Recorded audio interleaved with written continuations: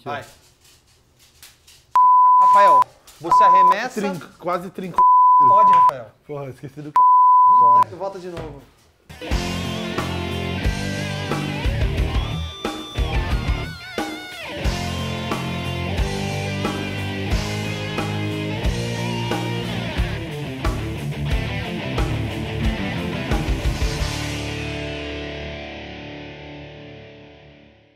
Fala galera!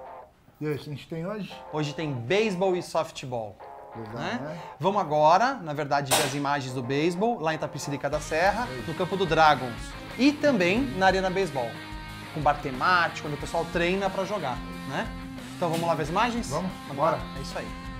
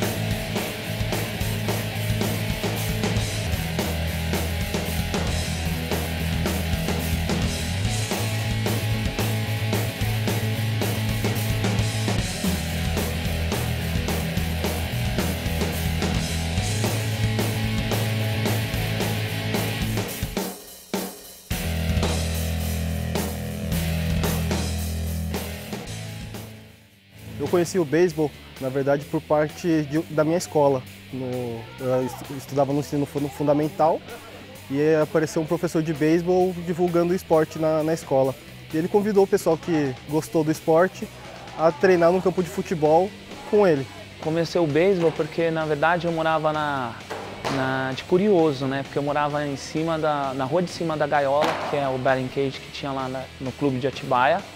E também eu estudava na mesma escola do André Rienzo e meu primo estudava na mesma sala que ele. E o André já, já, havia, já jogava por causa dos irmãos, né? O meu primo começou a me convidar para ir e eu fiquei curioso, porque eu fiquei, "Ei, esse esporte aí, achei que era, no começo achei que era só de japonês, né? Eu- Um amigo meu do meu prédio, ele- o pai dele jogava quando ele era criança, né? E aí ele me trouxe aqui junto com meu pai, que a gente não conhecia nada de beisebol aqui no Brasil, né? E aí foi aí que eu comecei. É, eu sou adotado. Eu sou filho de criação. Eu fui adotado por pais Nisei e fui criado segundo a cultura oriental. E meus pais, meu pai, na verdade, hoje falecido, já, já jogava esse esporte. Então foi um incentivo da parte dele, né? Ah, eu era bem criança, né? Então, assim, o pessoal tinha...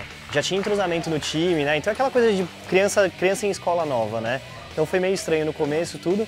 Mas aí depois, assim, a gente se adapta super rápido, né? Situação quando criança, né? E a gente formou um grupo aí que fomos até a adolescência inteira aí, é, juntos aí jogando.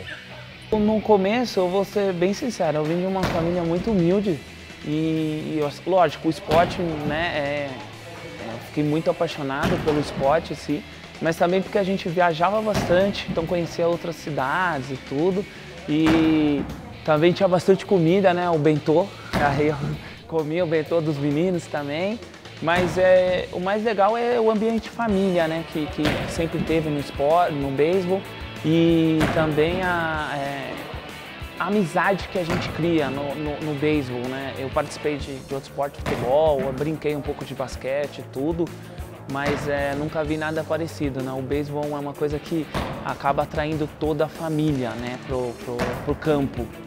O beisebol ele, ele teve uma ascensão muito grande né, nos últimos anos por conta de, da mídia, de internet, essas coisas né, aqui no Brasil, porque antigamente eram basicamente famílias japonesas só que jogavam. Né? Agora a gente já tem diversos times de faculdade, já tem diversos eh, brasileiros mesmo jogando, né, sem origem eh, oriental, né? Então assim é uma expansão muito importante para o esporte. Tudo foi su- surpresa para mim. Desde a da bolinha, o taco, era uma experiência nova. Além de que é um esporte com dois turnos, um de ataque e outro de defesa. né? Quando cada equipe ataca uma vez e defende uma vez, aí muda a entrada. Então são nove entradas no adulto, onde intercalam né, é, posteriormente. O beisebol entra o ponto, né, quando o rebatedor ele, ele rebate ou ele consegue avançar para a primeira base, né, por alguma infração do arremessador, né, e aí ele tem que passar as quatro bases. Quando ele retorna salvo na primeira base que ele rebateu, né, aí é quando ele consegue marcar um ponto. A bola que a gente usa é de couro, ela é de couro por fora, e aí depois dessa camada de couro, ela é enrolada por uma linha de lã com muita cola, bem firme, e dentro, depois dessa camada de lã, tem uma bolinha meio que de borracha ou cortiça geralmente. A luva, ela é de couro, geralmente de couro, pode ser sintético ou pode ser couro verdadeiro. O taco pode ser de madeira ou pode ser de alumínio. Nós temos o nosso próprio material, né? Com o tempo, quando os jogadores desenvolvem gosto pelo esporte, eles acabam comprando o seu próprio material, por questão de afinidade com o próprio material mesmo, né? É, mas inicialmente mesmo ele vem treinar com o nosso material. Lá fora, é, normalmente, os times são tudo times filiais da Major League Baseball, que é a primeira divisão do beisebol.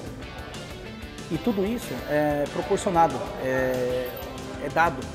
Você chega lá, já tem uma quantidade de bola enorme. Você chega lá, de repente, se você não tem luva, mas normalmente você já tem luva, mas eles te dão luva também. A própria equipe te dão luva. Chuteira, eles te dão chuteira também. Então lá é a facilidade é muito maior. O que eu mais gosto nesse esporte é o, o desafio, o desafio do, do jogo mesmo. É um jogo que não é tecnicamente muito difícil, né? Então é um jogo que tecnicamente você precisa se esforçar, você precisa treinar, você precisa se atentar aos detalhes, né? Para conseguir para conseguir estar sempre evoluindo e melhorando, né? O beisebol me ensinou que é preciso ter disciplina, é preciso ter regras. Então o beisebol me proporcionou é, muito crescimento psicológico, crescimento psicológico, saber respeitar. O que me chama muito a atenção no, no esporte é a diversidade, onde é um esporte que qualquer pessoa pode praticar. Tem lugar para todo mundo no time, sendo alto, baixo, gordo, magro, forte, rápido, lento. Tem espaço para todo mundo nesse esporte. Isso é maravilhoso.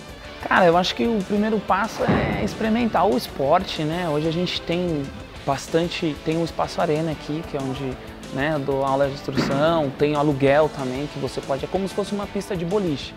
Então, tem muita gente que assiste o beisebol na TV, mas não, não acha, e acredita que no Brasil não tem beisebol ou que não tem um espaço, né? Então hoje a gente tem, se você procurar na internet Arena Beisebol, ou qualquer outro time, é, principalmente time amador que vem crescendo muito, é, então hoje tem a oportunidade, é procurar e a internet está aí para ajudar, para facilitar. Ah, se quiserem começar no esporte, recomendo entrar no Facebook, digitar LDB Baseball, que vai abrir o, o grupo da, da liga e lá vão ter vários times. É, um deles é o nosso Centro Esportivo Dragons, a gente faz parte do Dragons B e se quiserem entrar em contato com a gente, pode procurar no Facebook Centro Esportivo Dragons ou entrar em contato pelo Facebook mesmo, que a gente passa as orientações.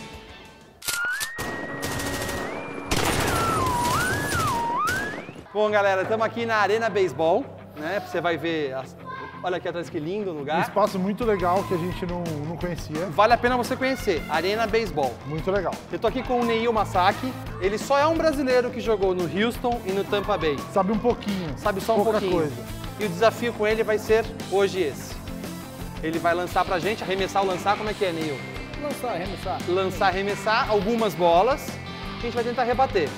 Mas todas as bolas têm que vir boas. Como a gente não sabe nada, não conhece, as bolas têm que vir boas, pelo menos para arremesso. Strike, né?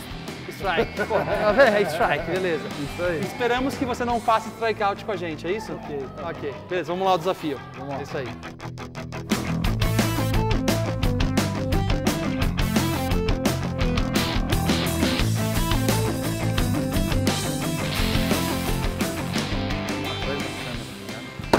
Cara, não dá pra ver a bola, velho. Ele. Parei. Aí, essa foto ficou louca. Perdi.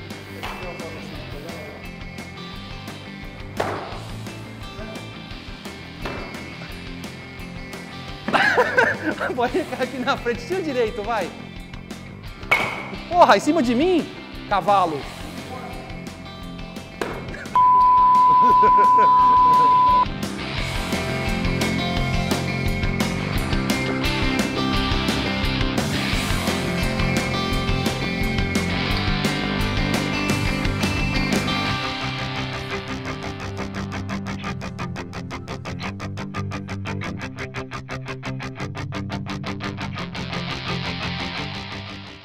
Dois mil anos depois.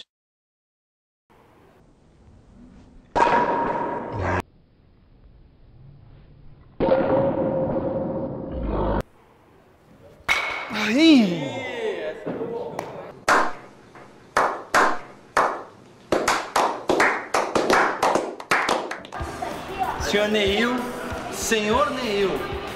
Braço do menino faz assim. Aí, ó. Fraquinho, fraquinho, um pouco rápido. Nós dois falhamos, eu e o Rafa falhamos. Não, mas o Cadu foi melhor ainda. Mas o Rafa regou um pouquinho. Deu uma regada. Deu uma regadinha. Ele soltou três bolinhas assim, ó, Neil pra ele, ó. Ele já falou, não quero mais, comer uma bolada. Ele me sacaneou, tentou jogar umas bolas em cima de mim, mas eu com meu reflexo de gato saí das bolas. Obrigado. Bom, a gente tem um, um lema que é a diversão, que é o regra zero significa diversão. Tivemos muita diversão hoje aqui. Muito obrigado. Obrigado, valeu. Valeu, eu agradeço.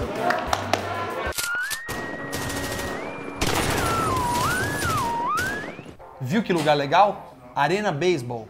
É Diferente, isso? né? Diferente, bonito, né? que lugar tem um bar bonito lá, bem legal. O pessoal treina bastante, faz bastante. Você arremessa ou você bate? Eu faço os dois. Os dois, é isso aí. Vamos ver no próximo bloco aí. O softball, Futebol. é isso aí, depois dos comerciais. Valeu.